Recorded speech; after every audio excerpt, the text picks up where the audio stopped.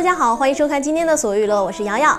说起六六呢，可能有的小伙伴并不耳熟，但是说起现实题材的电视剧，像《蜗居》《心术》《王贵与安娜》这些，大家肯定都知道。其实啊，这都是六六的作品。昨天晚上，他的新剧《女不强大天不容》首播，女主呢，当然还是铁打的海清。从这部剧的名字就可以猜到，海清这次啊是媳妇儿熬成功了。这部诚意之作，想必也会成为新的女性成长指南吧。智斗小三又赢了事业，强势女性代表六六编剧的新作《女不强大天不容》昨天首播了，主演还是那个他最爱的海清。看多了霸道总裁、古装玄幻、鲜肉帅哥、沉浸玛丽苏不切实际爱情的妹子们，回归现实，学学怎么变强大才是正经事。大今儿个起，跟着海清提升自我吧！都是女性励志剧，《女不强大天不容》讲述了海清饰演的郑雨晴从媒体新人经历职场十字路口，到临危受命晋升报社女社长的故事，不仅让与时代脱节的女职员来了个绝地反击，唤醒大众的女女强意识，还聚焦到传统媒体与新媒体、传统银行与互联网金融的尖锐碰撞。蛰伏许久，三年磨一剑，六六还是一出手就抓紧当下热点，并且依然女性独大。这么多年来，我都以女性视角为主，男人不在我的考量范围。光听片名就霸气十足的女不强大天不容，当然少不了六六法则三要素。六六的作品几乎每一部都能称之为巨聊，关爱女性心理，体现女性成长，教导女性生存。婆媳矛盾愈演愈烈，写了双面胶；房价飙升住房难，写了蜗居；育儿观牵扯到家庭危机，写了宝贝；凤凰男和孔雀女激烈碰撞时，写了王贵与安娜。每一部专注于社会热点话题展开的剧里，总有我们平凡人的影子。六六说，人生痛点就是他的落笔点。于是，在传统媒体人被互联网大潮拍的只剩半条命的时候，女不强大天不容诞生了。第一集开篇，所长就被海清的假发给雷到了，这呆傻的刘海和他面对领导战战兢兢的模样，简直就是绝配。姜部长，我胆子小啊，我是不是，我是不是犯错误了？我犯什么错误了？你你你直接给我。这样一个安于现状、不求上进的女记者，突然被任命为报社一把手，集团的重重危机遍布眼前，挽救前路未卜的传统媒体人之路就靠你啦！我只能破釜沉舟，我只能拼死一搏，否则我没有任何出路。从预告片看，海清至少要打败拖欠工资、尔虞我诈、网络人肉和婚内出轨等一连串的小怪兽。所长预感，这部红果果的女强人修炼手册要刷新热播榜啦！六六的文字就是一锅以话题为食材、真相为调料的毒鸡汤，总是一针见血，戳破幻想，揭露现实。女强虽然才放了预告片，播出仅仅一集，新一代六十里汤就风靡网络了。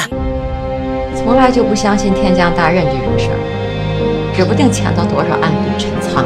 别相信天上掉馅饼，刮开彩票就是五百万，每一分利益都要靠汗水和头脑凝聚，否则就等着付出代价吧。现在面对新媒体的阻击，不改革势必死。停滞不前就等着被社会淘汰吧。死要面子活受罪，拉低身份拼智慧。你当学徒就得吃三年萝卜干饭。你说你姥爷当学徒那时候，那什么不干呢？洗尿布、看孩子、刷马桶，那且得干着呢。走入社会啊。就这样，入职场开头难，挑三拣四惹人嫌，任劳任怨攒经验才是最重要的。真是听六六金句，胜读十年书啊！流水的话题，铁打的海清，从六六编剧的第一部电视剧开拍，到女不强大天不容，六海 CP 五度合作，十年间，海清从国民媳妇转型职场白骨精，昂首挺胸，攻气十足成精英，被迫了一身饭，淡定推开围观群众，若无其事啃馒头，却红了眼眶。丈夫闹离婚时咬碎了牙，痛苦往肚里吞。当然，还有她在六六剧中向来的大胆。奔放的性格。吃吃饭！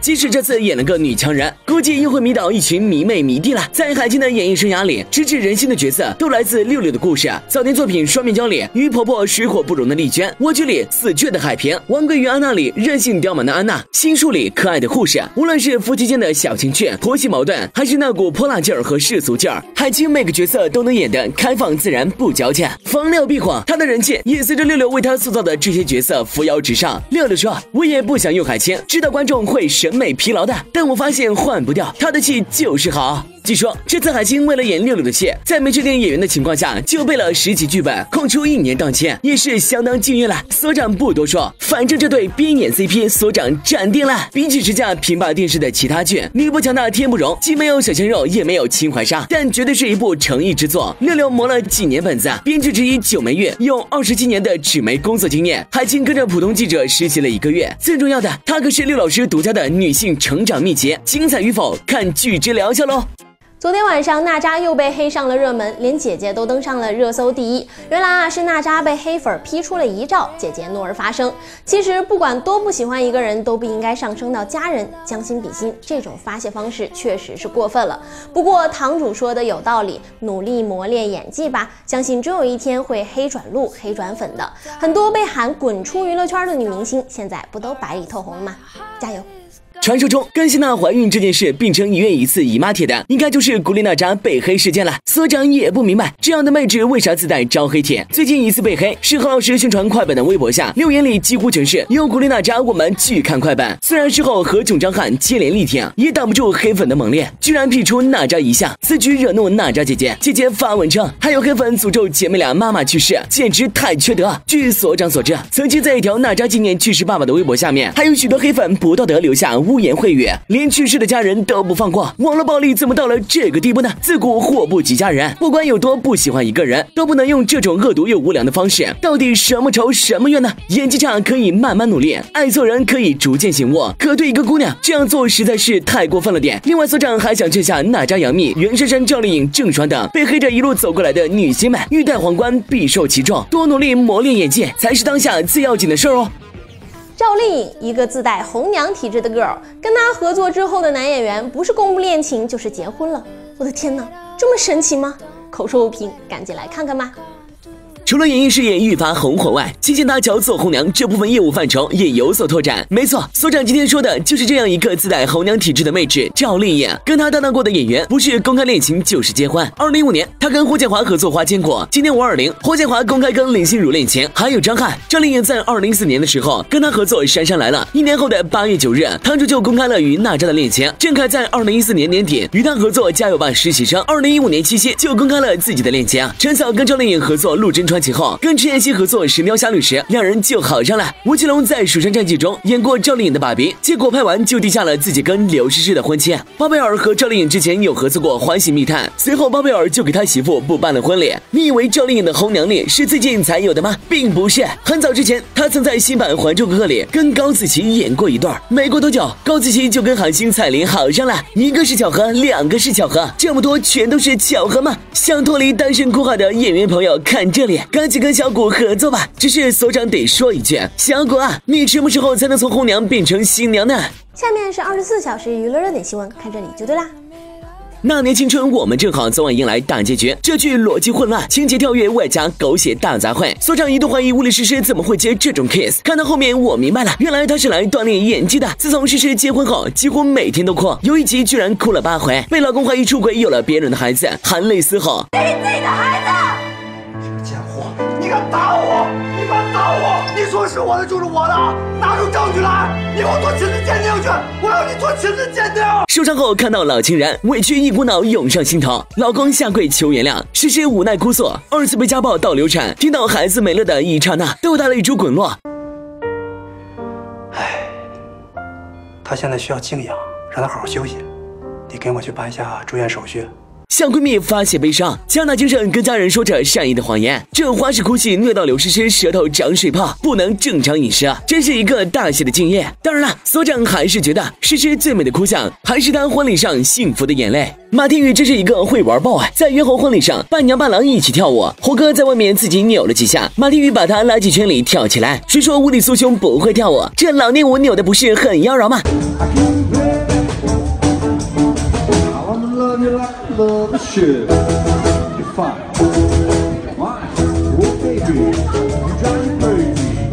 还有媒体拍到了这几张画面马天宇你拉着胡歌苏武飞起简直是要私奔的节奏啊！看来我们胡大大有人收了。所长觉得麻花辫是评判真女神的唯一标准。最近网上曝光了一组高圆圆十二年前的剧照，在这部由高圆圆、李冰冰、陈晓东等人主演的电视剧《海的誓言》中，留着麻花辫的高女神清纯无比，知性、美丽、大方，看得所长不知所以然，只想说颜值就是生产力，希望女神一直美下去。最近有媒体拍到柳岩现身婚纱店选购婚纱，如果不是在拍戏，莫非是好事将近了吗？估计柳岩在想，身边的人如果是那男的就好了。此前又被目击和一位神秘男子关系亲密，两人一起去看电影，并且同回家中。回家了，两个人一起回柳岩家了。柳岩还给这男的开门，进门了，一起进去啊。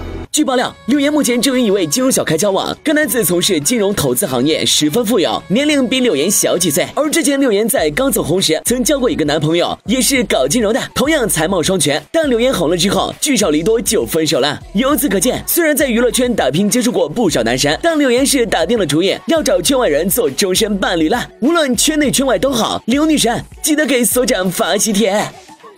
今天是六一儿童节，江乃亮一早晒出甜心美照，说：“老婆孩子，六一儿童节快乐，你们永远是我的宝贝儿。”照片中，甜心戴着红色帽子，抿嘴微笑，俨然迷你版李小璐，真是越来越漂亮啦！既然是儿童节，我们就来看看明星儿时照片。Angelababy 屡屡被传整容，逼到不得不去做面部鉴定。其实 Baby 从小就是美人胚子，明眸大眼，苹果脸，这个萝莉太萌啦！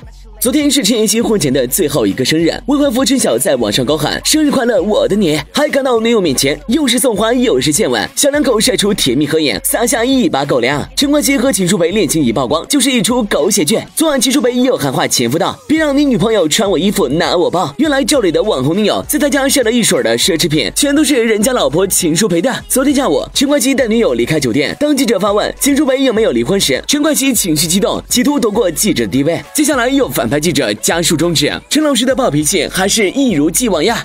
章子怡晋升妈妈后晒娃不断，大谈育儿经。近日更透露和汪峰葛荟婕的女儿小苹果相处的很好，自己也是小苹果最信任的朋友。活久见，本山大叔时隔五年更新微博了。昨天赵本山发文称帮女儿拉票，随后赵本山女儿妞妞也回应感谢爸爸。好了，说到这里，今天的问题又来了，大家觉得女生柔弱一点好，还是女强人一点好呢？搜索微信公众号“所谓娱乐”，参与互动就就会得到神秘礼物哦。所谓娱乐，不看你就 out 啦。好啦，以上就是全部内容啦。看了今天的节目，又有多少小伙伴想当小谷的好朋友了呢？算我一个，明天见，拜拜。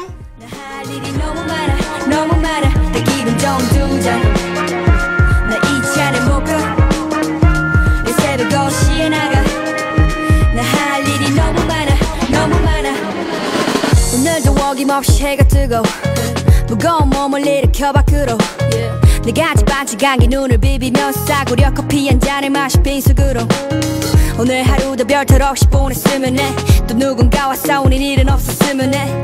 상처받는 일은 없었으면 해. 그래 그러기 위해서는 내가 더 잘하면 돼. 잘해야 된다는 잘 돼야 된다는 부담감이 없었으면. 매일매일이 똑같은 하루 뭔가 특별한 일이 생겼으면 hey. 좋겠어 그냥 내 생각이야. 사실 원해 건내 바람이야. 좋겠어 그냥 내 생각이야. 바람이자 내가 원하는 나만의 세상이야. 기분 좋은 두 잔 나 이차례 못가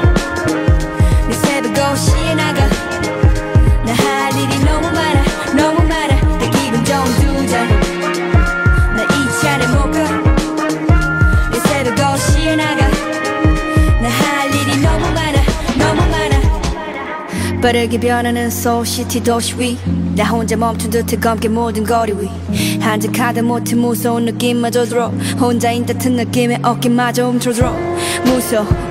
또 내일 무슨 일이 일어날까 벌써. 내 앞은 깜깜한데 다른 이들은 어쩜 잘만 웃고 사는 난또이 길을 걸어. 불안해 내 미래는 동이 트기 전 새벽 내 구리 집어처럼 마치 앞도 안 보여. 어두워 잠을 들기 전 내 방 안처럼 내가 원하는 건 그저 행복한 것 뿐인데 세상은 더 많은 걸 바라고 또 요구해. 네가 원하는 건 외로움이 아닌데 네가 가는 곳 여기든 저기든 다 외롭네. 내가 하고 싶은 건 내가 하고 싶은 건 hey, 내가 하고 싶은 건.